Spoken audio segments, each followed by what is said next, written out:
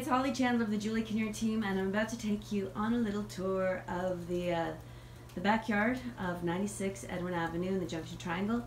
Check out our website, lovelytorontohomes.com, for more details like floor plans, recent renovations, utility costs, that kind of thing. So this is I'm going to take you out through the seasonal sunroom, which is just off the kitchen.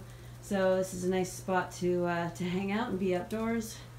Um, can open those windows there. We've got um, lots of natural light in here. And it's perfect for a day like this, where there's like freezing rain. Almost, so got lots of snow pellets. But anyway, this is quite a large backyard.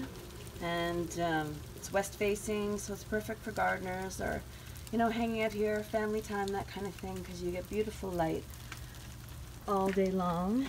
And um, got this pathway, which you can't see because it's covered in snow. Nice little barbecue area there. And um, over here as well. And we've got um, this huge shed. So it's an insulated shed. It's got a workbench.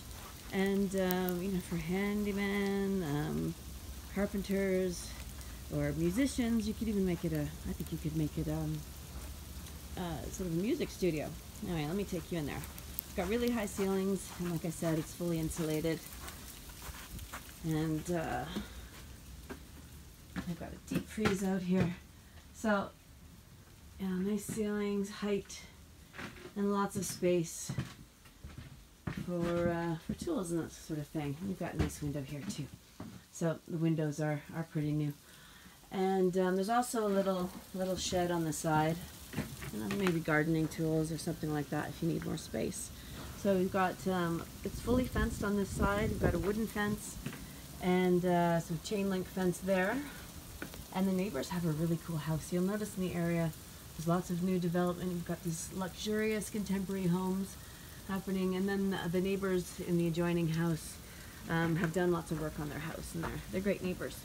And um, in the area, we've got lots of young kids and newlyweds and people who've been here a long time and they just love the community spirit. So there's the house from the back. And there you go, exterior. Backyard of 96 Edwin Avenue. Check out our website, lovelytorontohomes.com. And um, thanks for watching.